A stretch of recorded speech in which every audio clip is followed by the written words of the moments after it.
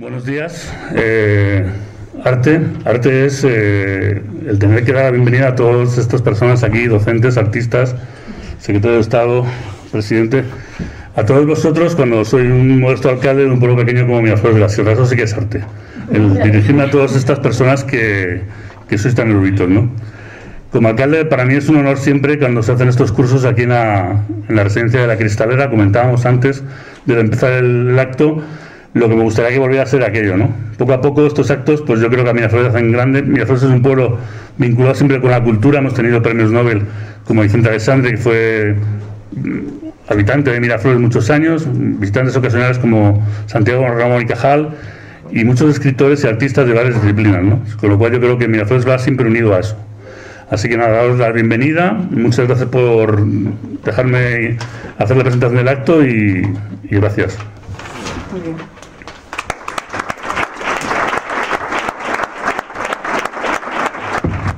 Le damos la palabra a Marta Morgade, que como todos, todos tenemos muchas vidas. Nos conocimos hace muchos años porque ha sido tutora de prácticas de algunas de las personas que trabajan en la Fundación y hoy ocupa un cargo de vicerrectora en el equipo de la, de la universidad. Bueno, mm, bienvenidos y bienvenidas. Me hace muchísima ilusión venir aquí. Cuando Amaya, la rectora, me dijo que no que le era imposible cuadrar la agenda, yo encantada de la vida de venir porque como dice Anabel, os conocí hace ya casi 20 años eh, como profesora eh, de la Facultad de Psicología y, me enamoró el proyecto, me enamoró las cosas que hacéis. Eh, de hecho, tiene que ver con lo que es mi, campo de investigación y docencia y de fruto de eso surgió las prácticas y espero que ahora en, la situación en la que estoy pueda seguir colaborando intensamente para seguir aprendiendo y, y sobre todo hacer llegar muchas de las cuestiones que hacéis también a los estudiantes y las estudiantes de, la universidad, así que no, mm, no hace falta decir que, todo lo que se os ocurra y que se nos ocurra que podamos seguir trabajando conjuntamente, aparte de venir a la cristalera, que es, eh, es una maravilla y he aprovechado para decirle al alcalde, a él también, que a ver si intensificamos las relaciones y los proyectos. Así que nada, pues eh, bienvenidos, bienvenidas a la universidad. Muy bien. Le damos la palabra a Enrique Barón, que es el presidente de la Fundación eh, en España y bueno, yo creo que el artífice de que hoy estemos aquí todos y todas nosotras. Bueno, bueno buenos días a, todas y a todos. Buen día. Y, sí, eh, no digo Guten Tag porque no han venido los alemanes.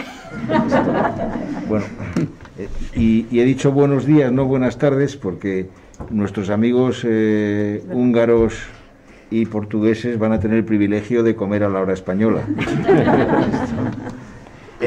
yo, bueno, quiero decir tres cosas. En primer lugar, que estamos iniciando una, no una nueva era, pero un, reencuentro, digamos, con la vida presencial. Cuando empezó el primer confinamiento, eh, Anabel me pidió que escribiera un editorial para nuestra newsletter eh, y yo lo titulé Arte contra el coronavirus. Y eh, ha sido una herramienta muy importante para luchar contra la pandemia. Y digo de paso que la peor pandemia no es solo la del coronavirus, está la pandemia del aislamiento, de las guerras, del odio, de, y, por lo tanto el arte es un instrumento esencial que se ha revelado como muy importante para, para poder hacer frente a algo que no solamente es la supervivencia en términos, como nos hemos acostumbrado desgraciadamente, de recibir todos los días una letanía de malas noticias, de casi partes de guerra, ¿no? Y yo creo que en eso el arte adquiere todo su sentido como un instrumento de formación de la persona.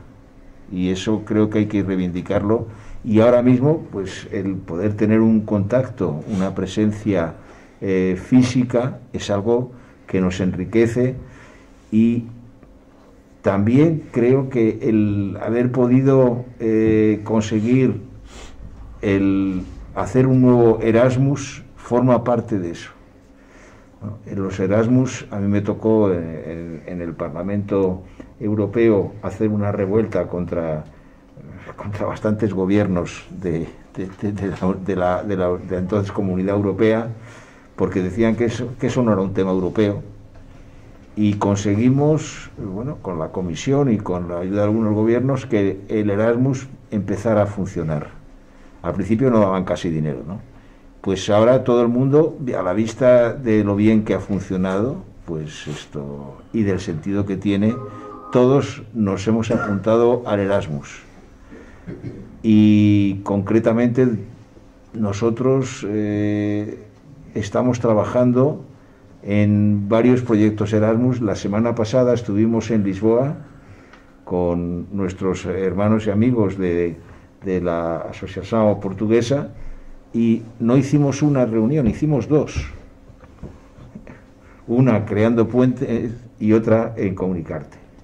¿Bien? ¿Eso qué demuestra? Demuestra que no solamente entre nosotros, sino que con las universidades, con ONGs y con estamos haciendo realmente Europa, bueno, Europa, y yo diría que incluso una Europa que está en otros continentes, porque están aquí bastante presentes nuestros eh, amigos de, y amigas de, de, Ceuta y de Melilla. ¿eh? Bueno, y eso también da, nos da una dimensión más enriquecedora, por no hablar de, de la pasión de Anabel por Senegal, cuando eh, desarrollamos que queremos continuar con el Enséñame África.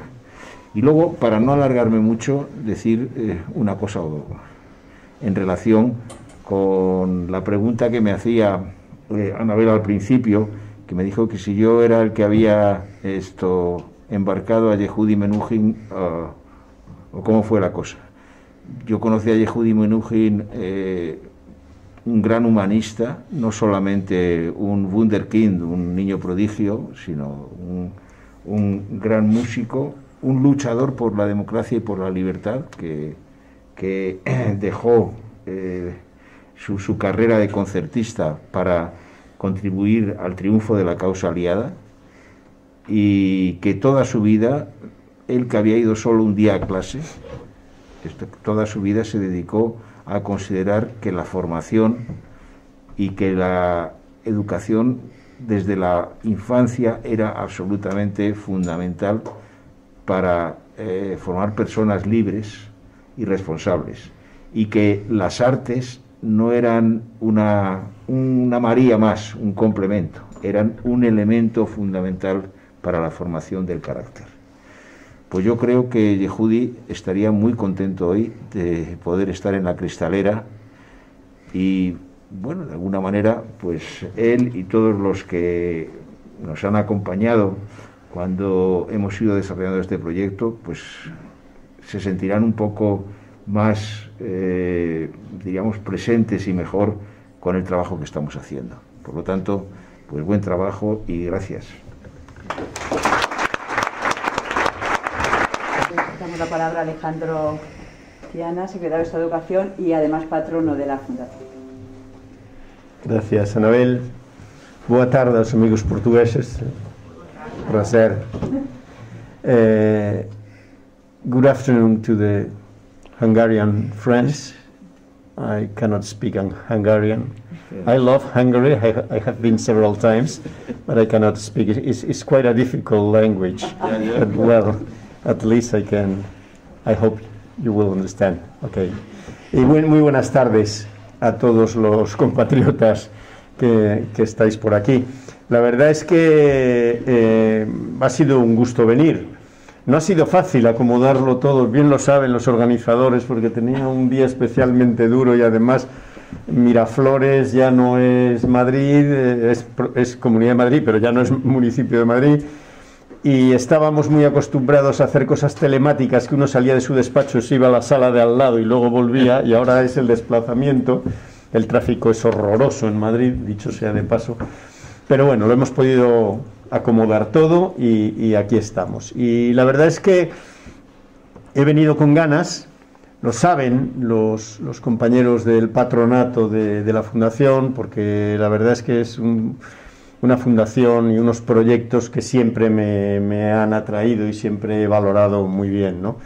Creo que nos conocimos hace como 17 años, allá por el año 2004 cuando yo llegué al Ministerio de Educación como secretario general de Educación en aquella época, y desde entonces hemos seguido más o menos en contacto de una manera o de otra. Estuve entonces en el patronato y estoy ahora, por tanto, creo que conozco lo que la Fundación hace y lo que los distintos programas, muy especialmente el MUSE, que fue el, fin, el origen un poco de, todo, ha venido desarrollando. Y precisamente porque lo conozco, pues quería estar hoy aquí, ¿no? porque, bueno, lo que podemos hacer quienes representamos algo públicamente es también con nuestra presencia dar aval a las cosas que yo creo que, lo merecen, ¿no? Y por eso, por eso mm, quería estar con vosotros. La verdad es que el trabajo que realiza la Fundación y el trabajo del programa MUSE son muy valiosos y además yo creo que inciden en algo que se ha revelado más importante, si cabe, que es el, lugar del arte en la educación, en el desarrollo humano en general, pero desde luego en el ámbito de la educación. ¿no? Y yo creo que hemos vivido unas temporadas en que el arte, eh, la expresión artística y el aprendizaje artístico en la escuela ha sufrido y se ha ido retrocediendo y se han ido dejando espacios y yo creo que es necesario recuperarlos, ¿no? Y yo creo que es necesario darle un lugar un poco más relevante, ¿no? Y, nosotros estamos embarcados en eso ahora mismo, ¿no? En los currículos que estamos empezando a debatir, que habréis oído, ruidos y de todo, y más habrá en estas semanas que vienen, y está bien que sea así. Una de las, una de las cosas que queremos es darle a, a la presencia del arte en la escuela un poco más de relevancia, ¿no? Y en las distintas etapas le vamos a dar, dentro de, que todo puede ser limitado, pero como signo, le vamos a dar un incremento horario en las enseñanzas mínimas, las que fija el Ministerio y sobre las que construyen las comunidades autónomas, porque creemos que, merece la pena que sea así. Y por eso hemos estructurado de una manera, yo creo que más completa, el bachillerato de artes, que es una sola modalidad, aunque algunos periódicos hablan de cinco modalidades, son cuatro, pero el de artes tiene dos submodalidades de, peso, ¿no?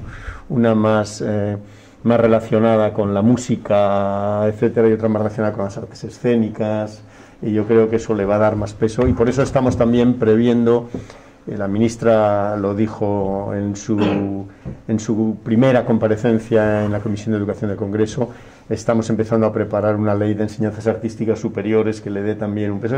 no, no, no, no pilla tanto con el trabajo que se realiza aquí, pero tiene todo ello un sentido, ¿no? Y todo esto lo digo no por sacar pechos, sino que habrá opiniones siempre para, todo, para todos los gustos cuando, cuando salga el debate público, sino porque creo que es una necesidad. Yo creo que realmente es verdad que motivados por la necesidad de reforzar determinados aprendizajes fundamentales y demás, pues hemos vivido un tiempo en el que las horas dedicadas al aprendizaje de la lengua o de las matemáticas o tal se han ido reforzando y está bien que sea así pero yo creo que muchas veces ha sido un poco en detrimento de la enseñanza de las artes o del desarrollo artístico en la escuela. ¿no? Y entonces yo creo que esto es algo que debemos hacer. Al margen de, esto, que es con un carácter más general, yo creo que el trabajo que hace la Fundación es un trabajo muy valioso, porque no se trata solo de aprender arte, sino de usar el arte también como instrumento para aprender otras cosas, ¿no? como quien dice, para aprender convivencia, para aprender ciudadanía, para aprender desarrollo personal, para aprender convivencia, para aprender a, superar conflictos, para, muchas otras cosas. ¿no? Y yo creo que eso es lo que tiene de valioso lo que hace la, Fundación, desde mi punto de vista, ¿no? y es que en lugares que son problemáticos, conflictivos, etcétera, el arte eh, es un elemento de desarrollo, de inclusión, ¿eh? Yo he tenido ocasión de ver en, los actos que han organizado, alguno de ellos recuerdo en, eh, la Academia de Bellas Artes de San Fernando, y las actuaciones de los chavales del programa MUSE de distintos lugares era un ejemplo de inclusión educativa que realmente yo creo que cuando a veces se generan todos esos debates tan falsos sobre si queremos cerrar o no la educación especial, cosa que no, en absoluto es así. Sin embargo, eh, deja de lado que lo que hay que explorar es las vías reales de inclusión en la escuela y en ello mm, no digo que lo que hagáis sea lo único, pero desde luego es un elemento muy importante por lo que hace y por lo que representa y manifiesta ante el exterior. Así que nada, yo encantado hoy de estar aquí, de, seguir animando a los miembros del patronato, aunque saben que lo, que lo hago también fuera de aquí, pero a seguir animándoles, agradecer el trabajo que todos ellos realizan y hoy me vais a permitir que entre, que entre, entre todos pues hable de Enrique y de Anabel, que son las personas que desde el comienzo llevan eh, dedicando energías personales, eh, bueno, lo he visto de cerca, muchísimas para, para desarrollar eh, los trabajos. Y, nada, animaros, agradeceros que hayáis querido estar aquí y hayáis podido estar. Por suerte empieza a haber un poquito más de presencia física. En castellano ya sabéis amigos portugueses, no sé si tenéis algo parecido en portugués, pero aquí decimos el roce hace el cariño, y eso es verdad que, además se nota en este tiempo de pandemia que lo hemos echado en falta, con lo cual empezar a verse es, un, es una buena cosa. Y yo creo que también es un modo de compartir, he visto que tenéis un programa denso, de compartir experiencias, buenas prácticas, eh, en fin, eh, lo, que, lo que estáis haciendo unos y otros entonces me parece que siendo valioso lo único que puedo hacer es desearos que, le que aprovechéis estos días al máximo posible porque será en beneficio de todo lo que es la tarea educativa en términos generales en, en la sociedad española y yo creo que eso, bueno, en este caso no solo española, y yo creo que eso es muy positivo. Así que nada, muchas gracias, mucho ánimo y que os lo paséis bien además, porque sé que aquí además os lo pasáis bien. Así que encantado. del horario de los niños, lo que hace con que los profesores en Portugal en este momento tengan que trabajar también danza, música, teatro y plástica. Y eso hace con que los profesores especialistas de estas artes vayan a las escuelas a trabajar con los profesores y bueno, se ha desencadenado un montón de, de procesos y de trabajos muy interesantes. Creo que es un modelo eh, bueno a, seguir, está disponible en Internet, eso que puede ayudar. Muy bien. ¿Alguna otra aportación o pregunta?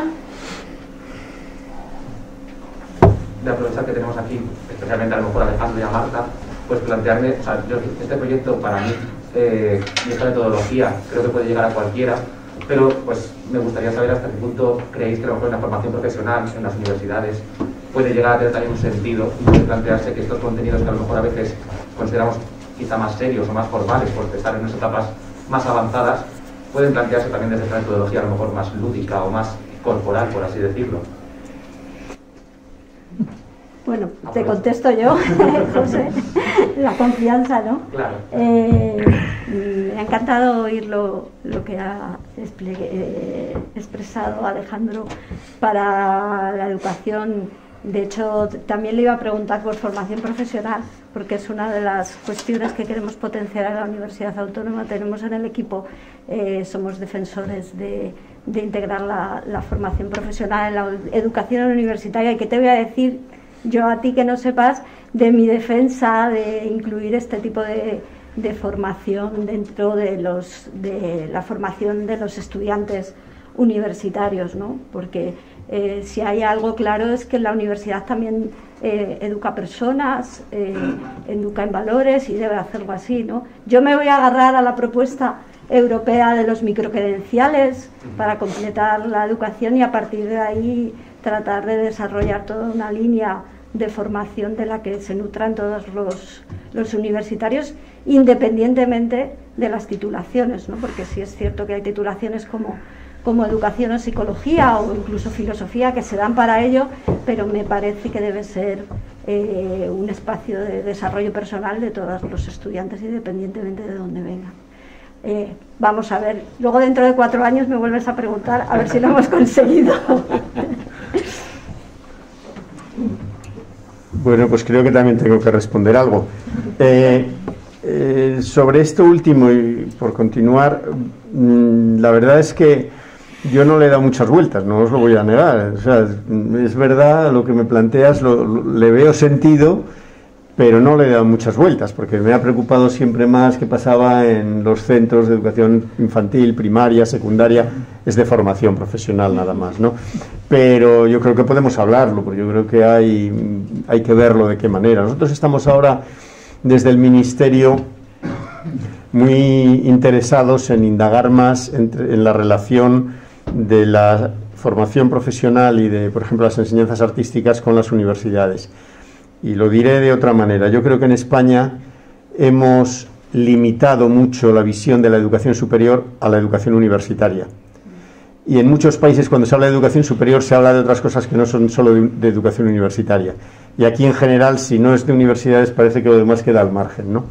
Y entonces yo, por ejemplo, eh, yo no creo que la idea sea que haya que integrar la FP o las enseñanzas artísticas en la universidad, sino que hay que hacer es establecer conexiones para que todo forme parte de un mundo de educación superior que permita idas, vueltas y transiciones de un modo o de otro.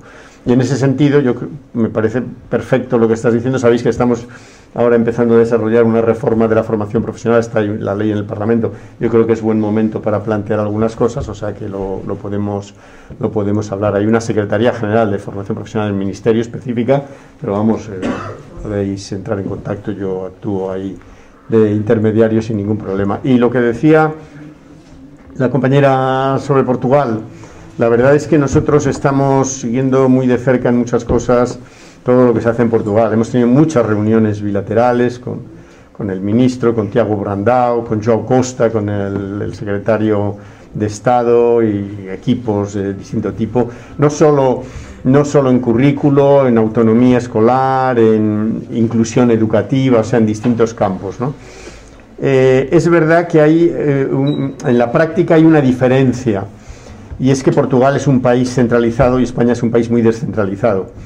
Entonces, lo que el Ministerio de Educación portugués puede hacer es muy difícil en algunas cosas que lo haga el Ministerio de Educación español. Es algo que pueden hacer mejor las comunidades, las, consejerías de educación de las comunidades autónomas. Eh, nosotros, por ejemplo, cuando se debatió la, la, nueva ley de educación en España, nosotros quisimos en la propia ley ya poner un, un espacio, un porcentaje concreto de espacio para que las escuelas pudieran definir su propio currículo, o sea, que pudieran completar, por decirlo así. Y sin embargo, el Parlamento no lo aprobó. Aprobó que tuvieran un espacio, pero no dijo una cantidad. Y entonces ahora van a ser las comunidades autónomas quien tienen que fijar si fijan X horas semanales o más o menos para distintas actuaciones de los centros educativos. Nosotros les estamos presionando y en los decretos que hacemos insistimos en ello para que haya elementos que, que que dentro de cada comunidad autónoma permitan reclamar que haya ese espacio que la ley dice genéricamente de autonomía de los centros para el desarrollo del currículo, pues para que lo puedan reclamar. Pero nosotros, desgraciadamente, y aquí digo desgraciadamente, no hemos podido fijar una cantidad mínima o un algo eh, porque, no, porque no tenemos competencia para ello. ¿no? Entonces, yo creo que aquí es un trabajo conjunto, el de España, entre, entre el Ministerio y las comunidades autónomas. Si nosotros dentro del Ministerio en las lo que llaman las enseñanzas mínimas y los horarios básicos, que son un 60% eh, del, del, tiempo escolar y un 50% en las comunidades que tienen lengua propia, pues quiere decir que ahí queda una parte que es de las comunidades autónomas, que, que es donde todo eso debe concretarse. ¿no? Y yo creo que es bueno hablar de esto para precisamente impulsar en esa dirección, ¿no? porque yo creo que difícilmente haremos una reforma curricular profunda si no hacemos algo que vosotros en Portugal estáis haciendo, que es dejar un espacio propio de autonomía a las escuelas para que puedan ellas trabajar en esa dirección. ¿no? Así que yo creo que Portugal es un, es un buen ejemplo, un gran ejemplo para, para, para nosotros, porque es un país muy cercano y, que muchas de las cosas que hace, pues, pues no podemos decir que nos quedan muy lejanas. Eh, como pasa con otros países y, y entonces la verdad es que es que es siempre muy bienvenido el trabajo con los, con los colegas lusos. Muy obrigado por su, por su colaboración, sí. Muy bien, ¿alguien quiere aprovechar? Bueno, pues si os parece, porque ya estamos casi en la hora de la comida, las dos y media nos esperan en el, en el comedor, así es que bueno, pues un placer y muchísimas bueno, gracias. gracias.